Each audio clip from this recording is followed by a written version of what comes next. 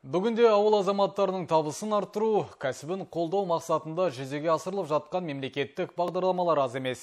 Мүмкіндікті тиімді пайдалана білген ауылдықтар елді мекеннің әлеуметтік экономикалық дамуына оң серпін беріп отыр. Мәселен, өңірдегі 9 ауылдық округте атаулы әлеуметтік көмек алатын бірде бір отбасы тіркелмеген. Тұрғындар еңбекке бас иген ауылдың бірінде болып, тыныс тіршілігімен танысып қайтқан тілшіміз Хажаргүл Әлиева тарқатсын. Янайкин ауылы аудан орталығынан 60 шақырым жерде орналасқан. Онда үш елді мекен бойынша халық саны 1020. Тұрғындардың барлығы тегіс мал ұстап, құс өсіріп, бақша баптайды. Қала берді вақтылық әдіспен жұмыс істеп, отбасының нәпақасын тауып отыр. Ауылда қол бос жан көрмейсіз. Сонымен қатар бірнеше отбасы мемлекеттен қайтарымсыз несие алып, өз кәсіптерін бастаған так как у нас население в основном ауылда күнкөріс деңгейі төмен отбасылар жоқ. Бірнеше жылдан бері елді мекендерден ешкім атаулы әлеуметтік көмек алмайды. Тұрғындардың барлығы дерлік қол қусырып отырмай еңбек етуде. Бюджеттік мекемеде барлығы 201 адам істейді. Одан бөлек облыс орталығында вахтыда қызмет ететіндер бар. Маусымдық жұмыстарға тартамыз. Былтыр жаңа мектептің ғимараты тұрғызылғанда тек жергілікті тұрғындарды жұмысқа алды. Одан бөлек үш адам мемлекеттен несие алып өз кәсіптерін бастады биыл тағы бір адам бизнес бастамақ бір сөзбен айтқанда үйде бос жатқан адамды табу қиын ауылда Тимур Әмірғалиевтің ауылға көшіп келгеніне 23 жыл болған. Жұбайы екеуі үш бала өсіріп тәрбиелеген. Осыдан 10 жыл бұрын мемлекеттен 4 миллион теңге қайтарымсыз несие алады. Оған 20 бас бұзау баспақ сатып алған. Еңбек қоржан бүгінде мал басын көбейтіп, шағын дүкен ашыпты ауыл халқын азық түлікпен қамтамасыз етіп отыр. Ең бірінші кәсіпті 15 жылы бағдарлама бойынша алдым. 4 миллиондай сол шаруашылыққа.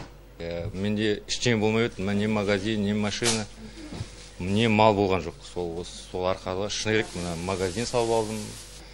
Енді аллаға шүкір деп айтамын балаларым аман сау бәрін высший оқытып алдым. Сол енді шыны керек көп көмегі бар енді. Мемлекеттік бағдарламаның игілігін көріп отқан жанның бірі асылғаным хангереева. Ол екі рет мемлекет қолдауына ие болған. Алғашында 2 миллион 600 мың қайтарымсыз несие алады. Оған ірі қара сатып алып мал басын көбейтеді. Кейін тағы да грант иегері атанып кәсібін дөңгелетеді. Бірінші алғанда 2 миллион 600 алдым. Екінші алғанда 4 миллионға жақын алдық.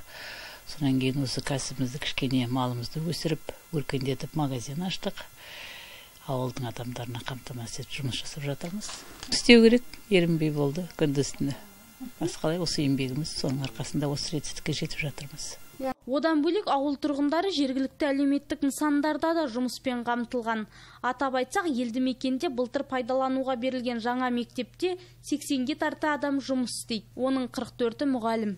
Жан жағының барлығы мектептің іші осы ауылдың азаматтарының көмегімен өте жақсы безендірілді. Миллион жарымға сол сияқты мектеп жанында 700 мыңға жылыжай салынды. Сол сияқты мектептің ішінде 600 мыңға музей жасақталды. Ауыл облыс орталығына да жақын болғандықтан көшіп келушілер де жеткілікті. Елді мекенде көгілдір отын таза ауыз су мәселелері де түбегейлі шешімін тапқан. Қала берді ауылдастар туған жерін дамытуға өздері де атсалысады. Былтыр мектеп салынды. Ә, су өткізілді осы янайкин ауылына тағы да жоспарларымыз бар. Негізі сол мына ә, кіреберіс жолды жөндеуге ә, жарығын соған түсіруге деген сол мына жаққа жолдың бойымен. Скворкин ауылында да сол янайкин ауылында фельдшерлік акушерлік пункті алла салынатындай сол жоспарда бар. Жолды түзейміз. Негізі тұрмысы халықтың былай жаман емес дегім келеді. Өңірде күнкөріс деңгейі төмен 2903 отбасы атаулы әлеуметтік көмек алады. Сонымен қатар 670 жанұя мүшесі жұмыспен қамтудың белсенді шараларына қатысады. Ал облыс бойынша 9 ауылдық округте қол қусырып мемлекетке алақан жайып отырғандар мүлде жоқ. Тұрғындардың барлығы дерлік тұрақты және маусымдық жұмыстарға тартылып жеке кәсіптерін бастаған. Қазіргі уақытта төрт мың бес жүз жиырма үш еңбекке қабілетті адамның алты жүз жетпісі жұмысқа тартылып отыр. Оның ішінде оның ішінде жаңа жиырма адам әлеуметтік жұмыс орындарына үш жүз алпыс екі адам қоғамдық жұмыс орындарына тұрақты жұмыс орындарына екі жүз қырық төрт қырық тоғыз адам жастар тәжірибесіне он жеті адам алты адам оқуға жолданып отыр қайта даярлауға.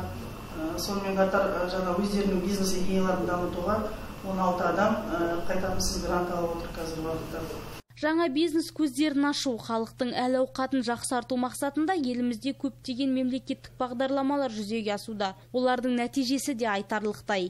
Ең бастысы тұрғындар тарапынан үлкен қызығушылық бар. Бұл өз кезегінде үкіметке қол жаймай, кәсіп бастап кедейлікті жоюға таптырмас мүмкіндік. Ажаргүл Алиева, Рүстем Ишанов, Аида Сағидолла, Ақжайық телеарнасы.